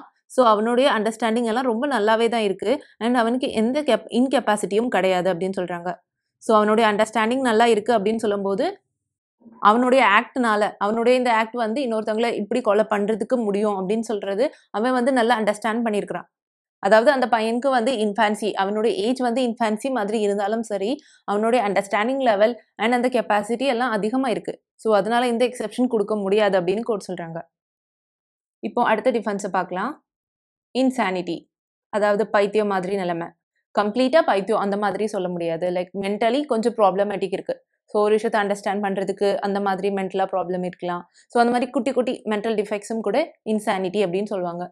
Act of a person of unsound mind so இந்த இடத்துல அன்சவுண்ட் மைண்ட் அப்படின்னு தான் சொல்கிறாங்க ரிட்டார்டட் அந்த மாதிரி வார்த்தைகள் யூஸ் பண்ணலை. அப்படின்னு சொல்லும்போது அவங்களுடைய மைண்ட் வந்து கொஞ்சம் அன்சவுண்டாக இருக்குது இது வந்து கம்ப்ளீட்லி மென்டலி ரிட்டார்டட் அப்படின்னு சொல்ல முடியாது. ஜஸ்ட் அவங்களுடைய மைண்டில் சம் டிசீஸ் இருக்குது அவ்வளோதான் ஸோ இப்போ இதுக்குள்ள எசென்ஷியல்ஸ் பார்க்கலாம். இன்கெப்பாசிட்டி அவங்களுக்கு இருக்குது ஸோ அவங்களுடைய ஆக்டை வந்து அவங்களால அண்டர்ஸ்டாண்ட் பண்ணிக்க முடியாது. அதான் இன்கெப்பாசிட்டி அது வந்து அதுக்கு காரணம் வந்து அன்சவுனஸ் ஆஃப் மைண்ட் இருக்கிறதுனால some sort of mental disease அவங்களுக்கு இருக்குது ஸோ அவங்களுடைய ஆக்ட் என்ன அப்படின்ட்டு அவங்களால அண்டர்ஸ்டாண்ட் பண்ண முடியாது. ஸோ அதான் incapable of knowing the nature of the act அவங்களுடைய ஆக்ட் வந்து தப்பா சரியா அப்படின்னு சொல்லி அவங்களால அண்டர்ஸ்டாண்ட் பண்ண முடியல. ஸோ அவங்களுடைய மைண்டில் இருக்கிற அந்த இன்கெப்பாசிட்டினால அவங்களால ரேஷ்னலான ஜட்மெண்ட் எடுக்க முடியல. ஸோ இது நான் ஏற்கனவே சொன்னதான் அவங்களுடைய ஆக்ட் வந்து அவங்களுக்கு தப்பாக இருக்குது அது சரியா இருக்கா? அது சட்டத்துக்கு அகேன்ஸ்டா இருக்கா? அப்படின்றது அவங்களுக்கு தெரியலை. அண்ட் இந்த இன்கெப்பாசிட்டி அவங்க அந்த ஆக்டை அந்த அஃபென்ஸை செஞ்சுருக்கும் போது இருந்திருக்கணும். இப்போ இதுக்கு ரிலேட்டடாக கேஸ் லாஸ் பார்க்கலாம். எம் நாட்டன் கேஸ் இது ரொம்ப இம்பார்ட்டண்ட்டான கேஸ் எம் நாட்டன் இல்லைனா மேக் நாட்டன் அப்படின்னு சொல்லுவாங்க. இவர் வந்து ராபர்ட் பீல் அவருடைய ப்ரைவேட் செக்ரட்டரியாக இருப்பார். ராபர்ட் பீல் வந்து பிரிட்டானுடைய பிரைம் மினிஸ்டர் மேக் நாட்டனுக்கு ஒரு டைல்யூஷனல் தாட் இருக்கும். அவர் வந்து ஹாலுசினேஷன் பண்ணிப்பார். அதாவது அவர் மனசுக்குள்ளே இமேஜினேஷன் பண்ணியிருக்கிறாரு. என்ன அப்படின்னா இந்த ராபர்ட் நீல் வந்து இவரை கொலை பண்ண ட்ரை பண்ணுற மாதிரி. அண்ட் இந்த தாட் வந்து அவரை ரொம்ப பயப்படுத்திட்டே இருக்கும். இவர் வந்து எப்படியாவது நம்மளை கொன்றுவார் கொன்றுவார். அந்த மாதிரி அவருக்கு ரொம்ப பயந்து போயிருப்பாரு. ஸோ அதனால ஒரு நாள் என்ன பண்ணிடுறாரு அப்படின்னா அவர் கன் எடுத்துட்டு வந்து சுட்டுறாரு ராபர்ட் பீல் அப்படின்னு நினச்சிட்டு ட்ரம் அண்டை சுற்றுறாரு ஸோ இந்த இடத்துல அவரை ஹோமிசைடுக்கு சார்ஜ் பண்ணுறாங்க ஸோ அப்போது மேக்னாட்டன் சைட்லேருந்து இதை தான் டிஃபென்ஸை சொல்கிறாங்க அதாவது அவருக்கு வந்து மார்பிட் டைல்யூஷன் இருக்குது ஸோ இவருக்கு வந்து ஏற்கனவே இந்த மென்டல் டிசீஸ் இருக்குது அவர் எப்போ பாரு இந்த மாதிரி தான் எல்லாத்தையும் கூட சொல்லிட்டே இருக்காரு. இந்த மாதிரி இந்த ராபர்ட் பீல்ன்றவர் என்ன எப்படினாலும் கொலை பண்ணிடுவாரு என்ன கொலை பண்ணிடுவாரு அப்படின்னு எப்போ பாரு சொல்லிக்கிட்டே பயந்துட்டே இருந்திருக்காரு. ஸோ அதனால தான் அவர் வந்து இந்த ஆக்டை செஞ்சுட்டாரு. இந்த டிசீஸ் அவர் இருக்கிறதுனால அவர் வந்து செல்ஃப் கண்ட்ரோலை இழந்துட்டு இந்த மாதிரியெல்லாம் அவர் சுட்டுட்டாரு. ஸோ இதுக்கு வந்து அவருக்கு ஒரு கிரிமினல் இன்டென்ஷன் எல்லாம் கிடையாது அப்படின்னு சொல்லி இவர் சைடில் கேஸை ப்ரூவ் பண்ணிடுறாங்க. ஸோ அதனால இந்த இடத்துல அவர் release பண்ணப்படுறார். Bulabhai versus state of Maharashtra Bulabhai இருக்காங்க இல்லை அவங்க வந்து சூசைட் பண்ணுறதுக்காக ஒரு கிணத்துல குதிக்கிறாங்க. கையில் அவங்க குழந்தையும் வச்சுருக்காங்க. ஸோ குழந்தையோட அவங்க கிணத்துல குதிக்கிறாங்க சூசைட் பண்ணுறதுக்காக ஆனால் பார்த்தோன்னு சொன்னோன்னா குழந்தை இறந்துருது. ஆனால் அவங்க இறக்கலை. ஸோ அவங்க மேலே attempt to commit suicide charge பண்ணுறாங்க ஸோ இந்த கேஸில் அவங்க சைடில் ப்ரூவ் பண்ணுறாங்க அவங்களுக்கு வந்து இன்சானிட்டி இருக்குது அவங்க மென்டலி ஸ்டேபிளாக இல்லை. ஸோ அதனால தான் அவங்க இந்த மாதிரி செஞ்சுட்டாங்க அப்படின்னு சொல்கிறாங்க ஸோ புலாபாய் சைடில் அவங்களோட கேஸை ப்ரூவ் பண்ணிட்டதுனால கோர்ட் வந்து இன்சானிட்டி அப்படின்ற டிஃபென்ஸை அக்செப்ட் பண்ணிக்கிறாங்க. இப்போ அடுத்த டிஃபென்ஸை பார்க்கலாம். இன்டாக்சிகேஷன் இன்டாக்சிகேஷன் அப்படின்னா சிம்பிளாக சொல்லணும் அப்படின்னா ட்ரங்கன்னஸ் ஏதோ ஒரு விஷயம் குடிச்சிருக்காங்க. ஸோ அதனால அவங்க மைண்ட் வந்து ஸ்டேபிளாக இல்லை அப்படின்னு சொல்லும்போது ஹீ இஸ் இன்டாக்சிகேட்டட் அப்படின்னு அர்த்தம். இந்த டிஃபென்ஸை சொல்கிறது செக்ஷன் எயிட்டி ஃபைவ் அப்புறம் எயிட்டி சிக்ஸ் இது செக்ஷன் எயிட்டி ஃபைவ் அப்புறம் இது செக்ஷன் எயிட்டி சிக்ஸ் இதுக்கான எசென்ஷியல்ஸ் என்னதெல்லாம்னா அவங்க வந்து இன்டாக்சிகேஷன் ஆகியிருக்கும் போது ஸோ அதாவது ஒரு பர்சன் வந்து இன்டாக்சிகேஷனால அவங்க ஒரு ஆக்டை செஞ்சுட்டாங்க அப்படின்னு சொன்னாங்கன்னா அவங்க வந்து வாலண்டரி இன்டாக்சிகேஷன் பண்ணியிருக்க கூடாது. அதாவது தானே ஏதோ ஒரு விஷயத்த குடிச்சிருக்க கூடாது. Say for example liquor so அவங்க வந்து தானே லிக்கர் குடிச்சிட்டு ஸோ இன்டாக்சிகேஷனை டிஃபென்ஸாக சொல்ல முடியாது. அவங்களுக்கு தெரியாமல் இல்லைன்னா அவங்களுடைய கன்சர்ன் இல்லாமல் அவங்களுடைய நாலேஜ் இல்லாமல் அவங்களுக்கு யாராவது இந்த மாதிரி லிக்கர் கொடுத்துருந்தாங்க ஸோ இந்த மாதிரி இன்டாக்சிகேட் பண்ணியிருந்தாங்க அப்படின்னு சொல்லணும்னா அந்த டைமில் மட்டுமே அவங்க இந்த டிஃபென்ஸை இன்வோக் பண்ண முடியும். இந்த மாதிரி அவங்க இன்டாக்சிகேட் ஆகியிருந்ததுனால அவங்களோட ஆக்ட் வந்து சரியா தப்பா அப்படின்னு சொல்லி அவங்க மைண்டில் கரெக்டாக அவங்களால ஜட்ஜ்மெண்ட் பண்ண முடியல. ஸோ அதனால அவங்க இந்த அஃபென்ஸை செஞ்சுட்டாங்க. அப்படின்னு சொல்கிறது தான் இந்த டிஃபென்ஸ் இன்டாக்சிகேஷன் இப்போ இதுக்கு ரிலேட்டடாக கேஸ் லாஸ் பார்க்கலாம். Director of public prosecution versus Beard இந்த கேஸில் அக்யூஸ்டு பர்சன் வந்து ஒரு மில்லில் வாட்ச்மேனாக வேலை செஞ்சுட்டு இருப்பார். அவர் மில்லை தாண்டி இன்னொரு கேர்ள் வந்து மார்க்கெட்டுக்கு போயிட்டு இருப்பா. அந்த கேர்ளை வந்து இவர் வந்து ரேப் பண்ண ட்ரை பண்ணுறாரு அவ கத்தாம இருக்கிறதுக்காக அவர் வாயை வந்து அவர் க்ளோஸ் பண்ணுறாரு ஆனால் அவள் சஃபிகேட் ஆகி அவள் இறந்து போயிடுறா. ஸோ இந்த கேஸில் அக்யூஸ் சைட்லேருந்து இன்டாக்சிகேஷனை டிஃபென்ஸாக சொல்லிடுறாங்க. நான் குடிச்சிருந்தேன். அதனால நான் செய்கிற ஆக்ட் சரியா தப்பா அப்படின்னு என்னால் டிஃப்ரென்ஷியேட் பண்ண முடியல. எனக்கு அந்த கேர்ளை கொலை பண்ணணும்னு எந்த இன்டென்ஷனும் கிடையாது. ஸோ அதனால நீங்கள் என்ன எக்ஸ்கியூஸ் பண்ணணும் அப்படின்னு சொல்லி கேட்குறாங்க பட் கோர்ட் இந்த டிஃபென்ஸை அக்செப்ட் பண்ணலை. நீங்கள் வாலண்டரியாக இன்டாக்சிகேஷன் ஆகியிருக்கீங்க. அண்ட் இன்னொரு கேர்ளை ரேப் பண்ண ட்ரை பண்ணி அதுக்கப்புறம் பார்த்தோன்னா அவள் இறந்து போயிருக்கா. ஸோ கண்டிப்பாக இதுக்கு நீங்களே தான் ஃபுல் காரணம். இந்த டிஃபென்ஸ் உங்களுக்கு கிடையாது அப்படின்னு கோர்ட் சொல்லிடுறாங்க. அடுத்த டிஃபென்ஸ் கன்சர்ன்ட் இதை பற்றி சொல்கிறது செக்ஷன் எயிட்டி செவன்லேருந்து நைன்டி ஒன் வரைக்கும். கன்சென்ட்டை பற்றி பார்க்குறதுக்கு முன்னாடி ஒரு இம்பார்ட்டண்ட்டான லீகல் மேக்ஸிம் பற்றி பார்க்கணும் இந்த மேக்ஸிம் நம்ம ஏற்கனவே டாட்டில் படிச்சிருப்போம் இல்லை? வாலண்டி நான் ஃபிட் இன்ஜுரியா இதுக்கு அர்த்தம் no injury is done to your willing person ஒருத்தங்க கன்சர்ன் கொடுத்ததுக்கப்புறம் இன்னொருத்தலால் இவங்களுக்கு இன்ஜுரி ஆகிடுச்சுன்னு சொன்னால் அப்போ அந்த இன்னொரு பர்சன் வந்து ரெஸ்பான்சிபிள் கிடையாது அப்படின்னு சொல்கிறது தான் இந்த மேக்ஸிம் செக்ஷன் எயிட்டி செவன் இதை அண்டர்ஸ்டாண்ட் பண்ணிக்கிறதுக்கு இந்த எக்ஸாம்பிள் பார்க்கலாம். ஏபி இவங்க ரெண்டு பேத்துக்கும் பாக்ஸிங் பண்ணுறதுனா ரொம்ப பிடிக்கும். ஸோ இவங்க ரெண்டு பேரும் பாக்ஸிங் பண்ணிட்டு இருக்காங்க. ரெண்டு பேரும் ரொம்ப ஃபேராக தான் விளாடுறாங்க யாரும் யாரையும் சீட் பண்ணலை. ஸோ கேம் விளாண்டுட்டு இருக்கும்போது ஏ வந்து பியை அடிச்சிடுறாரு. ஸோ பி வந்து இந்த இடத்துல ஹர்ட் ஆகிறாரு. ஸோ இந்த இடத்துல பி ஹர்ட் ஆனதுக்கு ஏ காரணம் கிடையாது. ஸோ இது நோ அஃபென்ஸ் ஏன்னா ரெண்டு பேரும் கன்சென்ட்டோட தான் அந்த கேம் விளாடுறாங்க ஸோ இந்த மாதிரி கேம் விளாடும் போது யாருக்காவது ஒருத்தருக்கு அடிப்படை தான் செய்யும். ஸோ அந்த மாதிரி ஒருத்தங்களுக்கு அடிபட்டுச்சு அப்படின்னு சொன்னோன்னா அது அஃபென்ஸ் கிடையாது. இதை சொல்கிறது தான் section eighty seven section eighty செவனில் பார்த்தோன்னா எக்ஸ்க்ளூசிவாக ஸ்போர்ட்ஸ் கேம்ஸ் இந்த மாதிரி விளையாடும் போது ஒருத்தங்களுக்கு அடிபட்டுச்சுன்னா அந்த மாதிரி விஷயங்கள் தான் எயிட்டி செவனில் கவர் பண்ணியிருப்பாங்க. இப்போ இதோட எசென்ஷியல்ஸ் பார்க்கலாம். செக்ஷன் எயிட்டி செவனில் ஒருத்தவங்க டிஃபென்ஸ் எடுக்கிறாங்க அப்படின்னு சொன்னோன்னா அவங்களுடைய அந்த ஆக்ட்டுக்கு எந்த இன்டென்ஷனும் எந்த நாலேஜும் கண்டிப்பாக இருக்கக்கூடாது. அவங்க காசு பண்ணின அந்த ஹார்ம் வித் கன்சென்ட்டோட தான் நடந்திருக்கணும். ஏன்னா ரெண்டு பேரும் வாலண்டரியாக கன்சென்ட்டோட தான் அவங்க இந்த கேம் விளையாடுறதுக்கு ஒத்துருந்துருப்பாங்க. ஸோ இன்னொருத்தவங்களுடைய கன்சர்னால தான் அவங்களுக்கு அடிபட்டிருந்துருக்கணும். யாருக்கு அடிபட்டுச்சோ அவங்க தானே கன்சர்ன் கொடுத்துருக்காங்க. ஸோ அவங்களுக்கு எயிட்டீன் இயர்ஸ்க்கு அபோவாக தான் இருக்கணும். ஒரு பர்சன் மேஜராக இருந்தால் மட்டுமே அவங்க கொடுக்குற கன்சர்ன் வேலிடாக இருக்கும். ஸோ அதனால தான் இந்த ஏஜ் லிமிட் சொல்லியிருக்காங்க. ஸோ கன்சென்ட் கொடுக்குற பர்சன் அபோவ் எயிட்டீன் இயர்ஸ் இருக்கணும். அவங்க கொடுக்குற கன்சென்ட் வந்து எக்ஸ்பிரஸாகவும் இருக்கலாம் இம்ப்ளைடாகவும் இருக்கலாம். இப்போ செக்ஷன் எயிட்டி எயிட்டை பற்றி பார்க்கலாம். செக்ஷன் எயிட்டி எயிட் அண்டர்ஸ்டாண்ட் பண்ணுறதுக்கு இந்த எக்ஸாம்பிள் பார்க்கலாம். ஏ வந்து கொஞ்சம் உடம்பு சரியில்லை. ஸோ அதனால அவர் ஒரு டாக்டர்கிட்டே போகிறாரு டாக்டர் வந்து அவரை பார்த்துட்டு சொல்கிறாங்க அவரை டயக்னோஸ் பண்ணிவிட்டு சொல்கிறாங்க உங்களுக்கு வந்து கொஞ்சம் சர்ஜரி பண்ண வேண்டியது இருக்குது அப்போ தான் நீங்கள் சரியாவீங்க அப்படின்னு சொல்கிறாங்க ஸோ இந்த மாதிரி சர்ஜரி பண்ணுறதுக்கு முன்னாடி கண்டிப்பாக ஒரு கன்சர்ன் ஃபார்ம் காட்டுவாங்க. அதில் நீங்கள் சைன் பண்ண வேண்டியிருக்கும். சைன் பண்ணதுக்கு அப்புறமே தான் அவங்க சர்ஜரி செய்வாங்க. இதுக்கு பேர் தான் இன்ஃபார்ம்டு கன்சென்ட் இந்த மாதிரி இன்ஃபார்ம்டு கன்சென்ட் ஹாஸ்பிட்டலில் வாங்குறதுக்கு காரணம் ஒருவேளை சர்ஜரியில் வந்து ஏதாவது காம்ப்ளிகேஷன் ஆகிட்டு ஸோ உங்களுக்கு ஏதாவது ரொம்ப அதிகமான இன்ஜுரி ஆகிட்டு இல்லை உங்கள் உயிருக்கே ஆபத்தாகிற மாதிரி ஆகிட்டு இந்த மாதிரி எல்லாம் ஆகிட்டுன்னு சொன்னாங்கன்னா அந்த ஹாஸ்பிட்டலோ அந்த டாக்டர்ஸோ ரெஸ்பான்சிபிள் கிடையாது. இதுதான் இந்த இன்ஃபார்ம்டு கன்சென்ட்டுக்கு அர்த்தம். ஸோ டாக்டர்ஸ் கன்சென்ட்டோட உங்களுக்கு சர்ஜரி பண்ணியிருக்காங்க ஸோ அதனால உங்களுக்கு ஏதாவது ஆகிட்டு அப்படின்னு சொன்னோன்னா அந்த ஹாஸ்பிட்டலோ டாக்டரோ ரெஸ்பான்சிபிள் கிடையாது. இதை பற்றி எக்ஸ்க்ளூசிவாக சொல்கிறது தான் செக்ஷன் எயிட்டி எயிட் இப்போ இதுக்கான எசென்ஷியல்ஸை பார்க்கலாம். Act done for the benefit of the person who suffers injury இந்த ஆக்ட்னால அவங்களுக்கு இன்ஜுரி ஆகிச்சுல? ஸோ அந்த இன்ஜுரி வந்து ஆனதுக்கு காரணம் வந்து அந்த பர்சனுடைய பெனிஃபிட்காக ஒரு ஆக்ட் செய்கிறதுனால தான். ஸோ அந்த பர்சனுடைய பெனிஃபிட்காக ஒரு ஆக்ட் செய்ய போய் ஸோ அந்த பர்சனுக்கு இப்போ இன்ஜுரி ஆகிட்டு.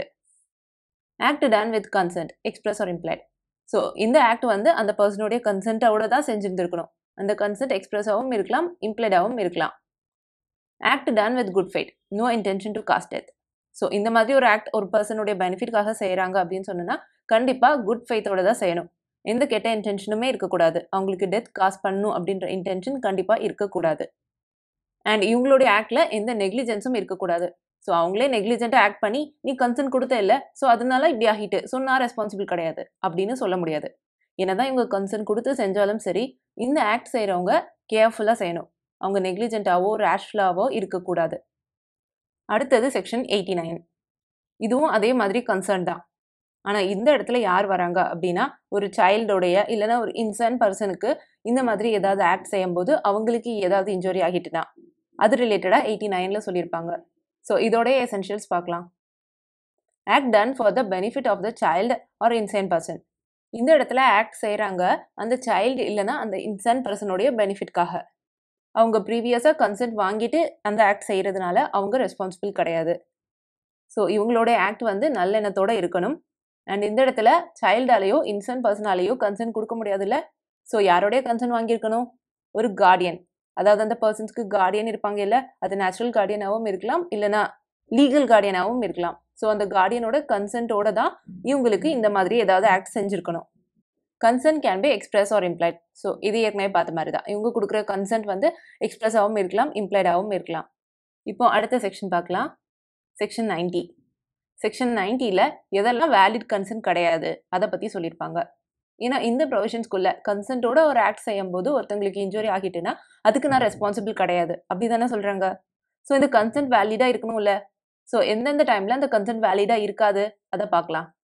பயம் இல்லாமல் நல்ல தெளிவான மைண்டில் கொடுக்குற கன்சென்ட்டே valid consent consent given under misconception of fact so fact ஒரு விஷயம் இருக்குது ஆனால் இவங்க வேற ஒரு விஷயத்த நம்பிட்டு இருக்காங்க. இதுதான் ஃபேக்ட் அப்படின்னு சொல்லிட்டு. ஸோ இவங்களுடைய பிலீஃப் வேற மாதிரி இருக்கு. ஸோ இவங்களுடைய நம்பிக்கை பொய்யா இருக்கிறதுனால அதை பொய்யா யூஸ் பண்ணிட்டு கன்சென்ட் கொடுத்தாங்க அப்படின்னு சொன்னோன்னா அந்த கன்சென்ட்டும் வேலிட் கிடையாது. Consent by child under twelve years of age child அப்படின்னு சொல்லும்போது இம்மெச்சூர் அண்டர்ஸ்டாண்டிங் தான் உங்களுக்கு இருக்கும். ஸோ அவங்களுடைய கன்சென்ட்டும் வேலிட் கிடையாது. Concern by a person of unsound mind so ஒரு பர்சனுக்கு வந்து அன்சவுண்ட் மைண்ட் இருக்குது அவங்களுடைய மைண்டில் சம் டிசீஸ் இருக்குது அப்படின்னா அவங்களால வேலிட் கன்சென்ட் கொடுக்க முடியாது. Consent by person who is intoxicated so ஒருத்தங்க வந்து இன்டாக்சிகேஷன் நிலமையில இருக்காங்க அப்படின்னு சொன்னாங்கன்னா அவங்களோட மைண்ட் கிளியராக எதையுமே யோசிக்காது. ஸோ அப்படி ஒருத்தவங்க கொடுக்குற கன்சென்ட்டும் வேலிடாக இருக்காது. இப்போ அடுத்த செக்ஷன் பார்க்கலாம். செக்ஷன் நைன்டி ஒன் நம்ம வந்து section eighty seven eighty eight eighty நைனில் கன்சென்ட்டோட செய்கிற ஆக்ட் வந்து அஃபென்ஸ் கிடையாது அப்படின்னு பார்த்துருப்போம். செக்ஷன் நைன்டி ஒன் வந்து அதோட எக்ஸப்ஷன் மாதிரி இருக்கும். ஸோ இந்த கேசஸில் கன்சென்ட்டோட அந்த ஆக்ட் செய்கிறதுனால அது வந்து அஃபென்ஸ் கிடையாது. ஆனால் செக்ஷன் நைன்டி ஒன் அதுக்கு அப்படியே ஆப்போசிட்டாக சொல்லும். ஈவன் தோ கன்சென்ட்டோட அந்த ஆக்ட் செஞ்சாலும் கூட it is still an offence example பார்த்தோன்னா மிஸ்கேரேஜ் மிஸ்கேரேஜ் அப்படின்னா அந்த கருவை கலைக்கிறது. ஸோ அந்த விமனோடைய கன்சென்ட் மூலமாக மிஸ்கேரேஜ் செஞ்சால் கூட it is still an offence இப்படி சொல்கிறது தான் section ninety one section ninety two ninety three இது ரெண்டும் கொஞ்சம் சிம்லராக தான் இருக்கும். செக்ஷன் நைன்டி டூ பார்த்தோன்னா ஒருத்தவங்க ஒரு ஆக்ட் செய்கிறாங்க நல்ல எண்ணத்தோட ஆனால் கன்சென்ட் இல்லாமல் ஸோ அப்படி அவங்க செய்யும்போது அது அஃபென்ஸ் கிடையாது. கன்சென்ட் இல்லாமல் ஒருத்தவங்க ஒரு செய்கிற ஆக்ட் வந்து நல்ல எண்ணத்தோடு செய்யும்போது அது அஃபென்ஸ் கிடையாது. இதுக்கு ஒரு எக்ஸாம்பிள் பார்த்தோன்னா ஒரு ஹாஸ்பிட்டலுக்கு ஆக்சிடென்ட் ஆன ஒரு பர்சனை கூப்பிட்டுட்டு வராங்க. அந்த பர்சன் அன்கான்ஷியஸாக இருக்காரு. அவரை பார்க்கும்போது தெரியுது அவருக்கு கண்டிப்பாக இமீடியட்டாக ஒரு ஆப்ரேஷன் பண்ணியே ஆகணும். அப்போ அவர் உயிர் பழைப்பார். அந்த மாதிரி சுச்சுவேஷன் ஆகிருது. ஆனால் கன்சர்ன் கொடுக்கறதுக்கு அந்த பேஷண்ட் கான்ஷியஸாக இல்லை. ஸோ அந்த ஹாஸ்பிட்டலில் இமீடியட்டாக அந்த பர்சனுக்கு ஆப்ரேஷன் பண்ணுறாங்க ஸோ இந்த மாதிரி டைமில் கன்சென்ட் இல்லாமல் தான் அவங்க இந்த ஆக்டை செய்ய வேண்டியதாக இருக்குது நல்ல எண்ணத்தோட அந்த பர்சனை எப்படியாவது காப்பாற்றிடணும் அப்படின்ற நல்ல எண்ணத்தோட. ஸோ இது அஃபன்ஸ் கிடையாது. அப்புறம் செக்ஷன் நைன்டி த்ரீ பார்த்தோன்னா ஒருத்தங்க ஒரு கம்யூனிகேஷன் சொல்கிறாங்க நல்ல எண்ணத்தோட. ஆனாலும் அவங்களுக்கு ஏதாவது உயிருக்கு ஆபத்து ஆகிட்டு அப்படின்னு சொன்னாங்கன்னா அப்போ அந்த கம்யூனிகேட் பண்ணவர் ரெஸ்பான்சிபிள் கிடையாது. இந்த எக்ஸாம்பிள் பார்த்தோன்னா புரியும். ஒருத்தவங்க ஹாஸ்பிட்டலுக்கு ஒரு இல்னஸோட வராங்க. அவங்கள டயக்னோஸ் பண்ணதுக்கப்புறம் தான் அந்த டாக்டருக்கு தெரியுது இவருக்கு ஒரு டேஞ்சரஸ் டிசீஸ் இருக்குது அப்படின்னு. ஸோ அவர் டயக்னோஸ் பண்ணதுக்கப்புறம் அந்த டிசீஸை கண்டிப்பாக அந்த பேஷண்ட்டை சொல்லியே ஆகணும். ஆனால் அந்த பேஷண்ட் இந்த டிசீஸை சொன்னதுக்கப்புறம் அதை கேட்ட உடனே அந்த ஷாக்லேயே இறந்துடுறாரு. ஸோ இந்த இடத்துல அந்த டாக்டர் ரெஸ்பான்சிபிள் கிடையாது. அவர் நல்ல எண்ணத்தோட அதை கம்யூனிகேட் தான் பண்ணார். பட் இவர் ஷாக்ல இறந்துடுறாரு. ஸோ அந்த டாக்டர் ரெஸ்பான்சிபிள் கிடையாது. இது ஒரு இம்பார்ட்டண்ட்டான case mister X versus hospital Z so mister X இருக்கார் இல்லை இவர் வந்து இந்த ஹாஸ்பிட்டலுக்கு போயிருப்பாரு. அவருக்கு பார்த்தோன்னா ஹெச்ஐவி பாசிட்டிவாக டயக்னோஸ் ஆயிருக்கும். அவருக்கு வந்து மேரேஜும் ஃபிக்ஸ் ஆயிருக்கும். ஆனால் இது தெரிஞ்ச அந்த ஹாஸ்பிட்டல் வந்து அவருக்கு இந்த மாதிரி ஹெச்ஐவி பாசிட்டிவாக இருக்குது அப்படின்னு சொல்லி வெளியே சொல்லிடுவாங்க இதனால பிரைட் வந்து மேரேஜ் வேண்டாம் அப்படின்னு சொல்லிடுவா ஸோ அவங்க மேரேஜும் கேன்சல் ஆயிரும். ஸோ இதனால இவர் வந்து ஹாஸ்பிட்டலை சூ பண்ணுறாரு என்னுடைய பர்சனல் டீட்டெயில்ஸை இவங்க எப்படி பப்ளிக்காக சொல்லலாம்? ஆனால் கோர்ட் சொல்கிறாங்க ஹாஸ்பிட்டலோட இந்த ஒர்க் வந்து தப்பு கிடையாது. ஸோ நீங்கள் இந்த மாதிரியான டிசீஸோட மேரேஜ் பண்ணுறீங்க அப்படின்னு சொன்னனா உங்களுடைய டிசீஸ் மற்றவங்களுக்கும் கம்யூனிகேட் ஆகிறதுக்கு சான்ஸ் இருக்குது ஸோ அதனால் இந்த ஹாஸ்பிட்டலோட ஆக்ட் வந்து இட்ஸ் நாட் அன் அஃபென்ஸ் அப்படின்னு சொல்லிடுறாங்க. இப்போ அடுத்த செக்ஷனை பார்க்கலாம். Section ninety four act to which a person is compelled by threats so ஒருத்தங்களை கம்பல் பண்ணி பயப்படுத்தி அவங்களே வந்து ஒரு ஆக்டர் செய்ய வைக்கிறாங்க. இந்த இடத்துல ஒரு மேக்ஸிமம் பற்றி நம்ம பார்க்கணும். ஆக்டர்ஸ் மீ இன்வைட்டோ ஃபேக்டஸ் நான் எஸ்ட் மின்ஸ் ஆக்டர்ஸ் இதுக்கு அர்த்தம் an act done by me against my will is not my act என்னுடைய விருப்பம் இல்லாமல் என்னைய ஃபோர்ஸ் பண்ணி செய்ய வைக்கிற ஒரு ஆக்ட் வந்து என்னுடைய ஆக்டே கிடையாது அப்படின்னு சொல்கிறது தான் இந்த மேக்ஸிம் எனக்கு இவங்களை கொலை பண்ணணும்னு இன்டென்ஷனே கிடையாது. ஆனால் இந்த பர்சன் வந்து என் தலையில் கன்னை வச்சுட்டு நீ இப்போ அவனை கொலை பண்ணுறியா இல்லையா? அப்படின்னு கேட்டாங்க. ஸோ அதனால் நான் கொலை பண்ணிட்டேன் அப்படின்னு சொல்கிறாங்க இல்லை? ஸோ இதுதான் இதுக்கு எக்ஸாம்பிள் இப்போ இதோட எசென்ஷியல்ஸ் பார்க்கலாம். The person did not voluntarily expose himself to the constant so இப்போ இந்த மாதிரியான ஒரு சுச்சுவேஷனுக்கு அவர் வந்து வாலண்டரியாக போயிருக்கக்கூடாது இது ஒரு பர்சன் இந்த பர்சன் வந்து வாலண்டரியாக இந்த ஒரு கேங்கு கூட போய் சேர்றாரு. இந்த கேங்கில் இருக்கிறவங்க எப்படின்னா காசுக்காக எந்த அஃபென்ஸுமே செய்வாங்க. ஸோ இந்த மாதிரி ஒரு கேங்கில் இவர் வாலண்டரியாக போய் சேர்றாரு. ஸோ இப்போ ஒரு சுச்சுவேஷன் வருது. இந்த கேங் வந்து ஒருத்தவங்களை கொலை பண்ணணும் அப்படின்னு பிளான் போடுறாங்க. ஸோ அப்போ இவர் வந்து நான் கொலை பண்ண மாட்டேன். நான் அப்படியெல்லாம் செய்ய மாட்டேன் அப்படின்னு சொல்கிறாரு ஸோ இந்த கேங்கில் இருக்கிற ஒருத்தர் வந்து இவரை ஃபோர்ஸ் பண்ணி நீ அவளை கொலை பண்ணுறியா இல்லையா? அப்படின்னு சொல்லி நிற்கிறாரு ஸோ அதனால வேறு வழி இல்லாமல் இவர் வந்து இந்த பர்சனை கொலை பண்ணிடுறாரு. வாலண்டரியாக நீங்கள் இந்த மாதிரி அப்பன் செய்கிற ஆட்கள் கூட பழகிட்டு எனக்கு இந்த மாதிரியெல்லாம் கொலை பண்ணணும் இன்டென்ஷன் கிடையாது. இவங்க என்ன ஃபோர்ஸ் பண்ணாங்க. அதனால தான் நான் கொலை செஞ்சேன். அப்படின்னு நீங்கள் டிஃபென்ஸ் எடுக்க முடியாது. Fear must be of instant death so அந்த சுச்சுவேஷன் எந்த மாதிரி இருக்கணும் அப்படின்னா இப்போ நீங்கள் இந்த ஆக்டை செய்யலை அப்படின்னு சொன்னால் அவங்க இமீடியட்டாக உங்களை கொண்டுருவாங்க அந்த மாதிரியான சுச்சுவேஷனில் தான் நீங்கள் இந்த ஆக்டை செஞ்சுருந்துருக்கணும். He was left with no option either to do it or die so உங்களுக்கு ஆப்ஷனே இருந்திருக்கக்கூடாது அந்த இடத்துல. ஸோ இந்த ஆக்டை நீங்கள் செய்யணும் இல்லைன்னா நீங்கள் இறந்து போகணும்.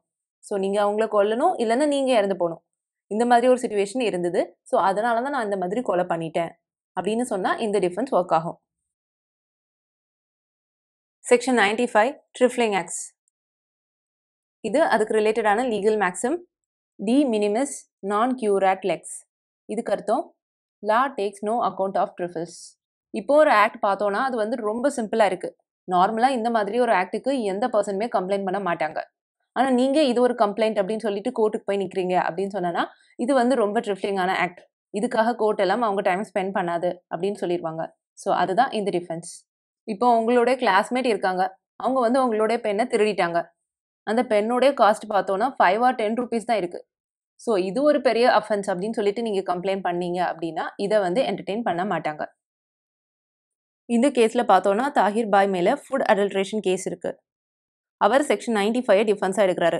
அவர் சொல்கிறாரு தன்னுடைய ஃபுட் அடல்ட்ரேஷன் வந்து ரொம்ப சின்னதாக இருக்குது ஸோ இதுக்கு போய் யாராவது ஒருத்தங்க கம்ப்ளைண்ட் பண்ணுவாங்களா? அப்படின்னு சொல்லி டிஃபென்ஸ் எடுக்கிறாரு. ஆனால் கோர்ட் சொல்கிறாங்க ஃபுட் அடல்ட்ரேஷன் வந்துட்டு அப்படின்னா கவர்மெண்ட் ஃபிக்ஸ் பண்ண ஸ்டாண்டர்டோட கொஞ்சம் அதிகமாக ஆகிட்டு அப்படின்னு சொன்னாலும் கூட அதோடைய ஹார்ம் பார்த்தோன்னா ரொம்ப பிக் அண்ட் சீரியஸாக இருக்கும். ஸோ என்னதான் நீங்கள் ஃபுட் அடல்ட்ரேஷன் வந்து சின்னதாக இருந்தாலும் கூட அதோடைய எஃபெக்ட் வந்து ரொம்ப பெருசு. ஸோ அதனால் ஃபுட் அடல்ட்ரேஷன் அப்படின்னு வந்துருச்சு அப்படின்னா slight deviation from the standard fixed by the government வந்து it's enough to cause big harm அப்படின்னு சொல்லி இவருடைய டிஃபென்ஸை அக்செப்ட் பண்ணாமல் கோர்ட் இவங்களுக்கு பனிஷ்மெண்ட் தராங்க. இப்போ அடுத்த செக்ஷனை பார்க்கலாம். ப்ரைவேட் டிஃபென்ஸ் செக்ஷன் நைன்டி சிக்ஸ்லேருந்து ஒன் ஆர் சிக்ஸ் வரைக்கும் இதை பற்றி சொல்லியிருப்பாங்க. செக்ஷன் நைன்டி சிக்ஸில் தன்னுடைய ப்ரைவேட் டிஃபென்ஸை எக்ஸசைஸ் பண்ணுறதுக்காக எந்த ஆக்ட் வேணுனாலும் காசு பண்ணலாம் அப்படின்னு சொல்லியிருப்பாங்க section ninety six private defence வந்து பாடி அண்ட் ப்ராப்பர்ட்டியை காப்பாற்றிக்கிறதுக்காக யூஸ் பண்ணலாம் அப்படின்னு நைன்டி செவனில் சொல்லியிருப்பாங்க. ஸோ பாடி அப்படின்னு சொல்லும்போது தன்னையும் காப்பாற்றிக்கலாம் மற்றவங்களையும் காப்பாற்றுறது ப்ராப்பர்ட்டி அப்படின்னு சொல்லும்போது தன்னுடைய ப்ராப்பர்ட்டியும் காப்பாற்றலாம் மற்றவங்களுடைய ப்ராப்பர்ட்டியை காப்பாற்றுறதுக்கும் அவங்க ப்ரைவேட் டிஃபென்ஸை யூஸ் பண்ணலாம். தன்னையோ இல்லைனா மற்றவங்கள அவங்க காப்பாற்றுறதுக்கு ஸோ எப்போல்லாம் அவங்க டெத் வரைக்கும் காசு பண்ணலாம்? அதை சொல்கிறது செக்ஷன் ஹண்ட்ரட் ஸோ எப்போல்லாம் அவங்க எந்த ஹார்ம்னாலும் காசு பண்ணலாம் ஆனால் டெத் காஸ் பண்ண முடியாது அப்படின்னு சொல்கிறது section one not one so இந்த ப்ரைவேட் டிஃபென்ஸ் வந்து எப்போ கமெண்ட்ஸ் ஆகி எப்போ கண்டினியூவேஷன் ஆகி எப்போ எண்ட் ஆகுது அதை சொல்கிறது செக்ஷன் ஒன் நாட் டூ எந்த மொமெண்ட்டில் வந்து அவங்களுக்கு அந்த த்ரெட் இல்லைன்னா அந்த டேஞ்சர் வந்து ஸ்டார்ட் ஆகுதோ அந்த இடத்துல அது கமெண்ட்ஸ் ஆகி எந்த இடத்துல வந்து அவங்களுக்கு அந்த த்ரெட் இல்லைன்னா அந்த டேஞ்சர் வந்து முடியுதோ அது வரைக்கும் இந்த ப்ரைவேட் டிஃபென்ஸ் அவங்க எக்ஸசைஸ் பண்ணலாம். இதே மாதிரி நம்ம ப்ராப்பர்ட்டிக்கும் பார்ப்போம். அதுவும் இதே மாதிரி சிம்லராக தான் இருக்கும். செக்ஷன் ஒன் நாட் த்ரீ வந்து தன்னுடைய ப்ராப்பர்ட்டியை காப்பாற்றிக்கிறதுக்கோ இல்லை நம்ம மற்றவங்களுடைய ப்ராப்பர்ட்டியை காப்பாற்றிக்கிறதுக்கோ அவங்க எப்போ டெத் வரைக்கும் காசு பண்ணலாம். எப்போ அவங்க எந்த ஹார்ம்னாலும் காசு பண்ணலாம். ஆனால் டெத் காஸ் பண்ண முடியாது. இதை சொல்கிறது ஒன் நாட் ஃபோர் ஸோ இது எப்போ கமெண்ட்ஸ் ஆகி எப்படி கண்டினியூஷன் ஆகி எப்போ எண்ட் ஆகுது. அதே மாதிரி தான். எப்போ அந்த டேஞ்சர் இல்லைன்னா அந்த த்ரெட் வந்து ஸ்டார்ட் ஆகுதோ அந்த இடத்துல இவங்களுடைய ரைட் டு ப்ரைவேட் டிஃபென்ஸ் வந்து ஸ்டார்ட் ஆகுது. ஸோ எப்போ அந்த டேஞ்சர் இல்லைன்னா அந்த த்ரெட் வந்து எண்ட் ஆகுதோ அப்போ இவங்களுடைய ரைட் டு ப்ரைவேட் டிஃபென்ஸ் வந்து எண்ட் ஆகும். அடுத்து section ninety eight so private defence நீங்கள் யாருக்கு அகேன்ஸ்டாலாம் யூஸ் பண்ணலாம்? ஸோ ஒரு இன்சேன் பர்சனுக்கு அகேன்ஸ்டாகவும் யூஸ் பண்ணலாம். இல்லைனா இன்டாக்சிகேட்டட் பர்சனுக்கு அகேன்ஸ்டாகவும் யூஸ் பண்ணலாம். இன்சேன் பர்சன் அப்படின்னு சொல்லும்போது a person of unsound mind அவங்க வந்து திடீர்னு உங்களை அட்டாக் பண்ண வராங்க அப்படின்னு சொன்னால் அவங்களுக்கு அகேன்ஸ்டாக நீங்கள் ப்ரைவேட் டிஃபென்ஸ் யூஸ் பண்ணலாம்.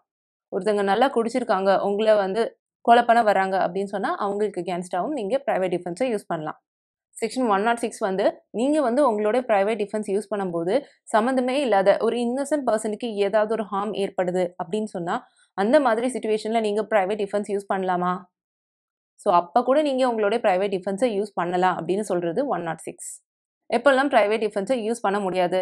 அதோடைய லிமிடேஷன்ஸ் என்ன? So no apprehension of death or grievous hurt so உங்களுடைய உயிருக்கோ இல்லைனா உங்களுடைய பொருட்களுக்கோ எந்த ஆபத்தும் இல்லாத மாதிரியான சுச்சுவேஷன்ஸில் நீங்கள் ப்ரைவேட் டிஃபென்ஸை யூஸ் பண்ண முடியாது. Has recourse to protection by public authorities so ஏதாவது பப்ளிக் அத்தாரிட்டி மூலமாக உங்களை காப்பாற்றுற மாதிரி சுச்சுவேஷன் இருந்துச்சுன்னு சொன்னால் அப்போது நீங்கள் ப்ரைவேட் டிஃபென்ஸை யூஸ் பண்ண முடியாது. இதுதான் நீங்கள் உங்களை கொலை பண்ணுறதுக்கு ஒருத்தவங்க துரத்திட்டே வராங்க. ஸோ நீங்கள் வேகமாக ஓடி போயிட்டே இருக்கீங்க. பார்த்தா இந்த இடத்துல ஒரு போலீஸ் ஸ்டேஷன் இருக்குது ஆனால் நீங்கள் அதை பார்த்தும் கூட நீங்கள் பாட்டுக்கு ஓடி போயிட்டே இருக்கீங்க. அதுக்கப்புறம் ஒரு பாயிண்ட்டில் பார்த்தோன்னா இவங்க வந்து உங்களை கொலை பண்ண வராங்க இல்லை. ஸோ நீங்கள் வந்து உங்களுடைய ப்ரைவேட் டிஃபென்ஸ் எக்ஸசைஸ் பண்ணி அவங்கள கொலை பண்ணிடுறீங்க. உங்களை அட்டாக் பண்ண வந்த பர்சனை நீங்கள் கொலை பண்ணிடுறீங்க. ஸோ இந்த இடத்துல நீங்கள் எடுத்த ப்ரைவேட் டிஃபென்ஸ் வேலிட் கிடையாது. ஏன் அப்படின்னா இந்த இடத்துல ஒரு பப்ளிக் அத்தாரிட்டியோடைய ஹெல்ப்பை நீங்கள் வாங்கியிருந்திருக்கலாம். ஸோ டைரெக்டாக நீங்கள் போலீஸ் ஸ்டேஷனுக்குள்ளே போயிருந்தீங்க அப்படின்னு சொன்னோன்னா உங்களை வந்து உங்களுடைய ஆபத்துலேருந்து நீங்கள் காப்பாற்றி இருந்திருக்கலாம் ஆனால் நீங்கள் இந்த மாதிரி செய்யாமல் நீங்கள் பாட்டுக்கு ஓடிட்டே இருந்துட்டு அதுக்கப்புறம் நான் என்னுடைய ப்ரைவேட் டிஃபென்ஸை எக்ஸசைஸ் பண்ணேன் அதனால தான் நான் கொலை பண்ணேன் அப்படின்னு சொன்னால் உங்களுடைய இந்த ப்ரைவேட் டிஃபென்ஸ் வந்து இந்த இடத்துல வேலிடாக இருக்காது. இது ஒரு ரெஸ்ட்ரிக்ஷன் ஸோ இந்த வீடியோ அவ்வளோதான் நான் இந்த வீடியோவில் சொன்னதெல்லாம் உங்களுக்கு நல்லா புரிஞ்சிருக்கும் அப்படின்னு நினைக்கிறேன். ஸோ உங்களுக்கு புரிஞ்சுதா? இந்த வீடியோ நல்லா பிடிச்சிருந்ததா? கமெண்ட்டில் சொல்லுங்கள் வேறு எந்த மாதிரி வீடியோஸ் நான் செய்யணும்னு நினைக்கிறீங்க? அதை கூட கமெண்ட்டில் சொல்லுங்கள் என்னுடைய வீடியோஸ் பிடிச்சிருந்தது அப்படின்னா ப்ளீஸ் கன்சிடர் சப்ஸ்கிரைபிங் இது மாதிரி இன்னொரு வீடியோவில் உங்களை பார்க்குறேன். பை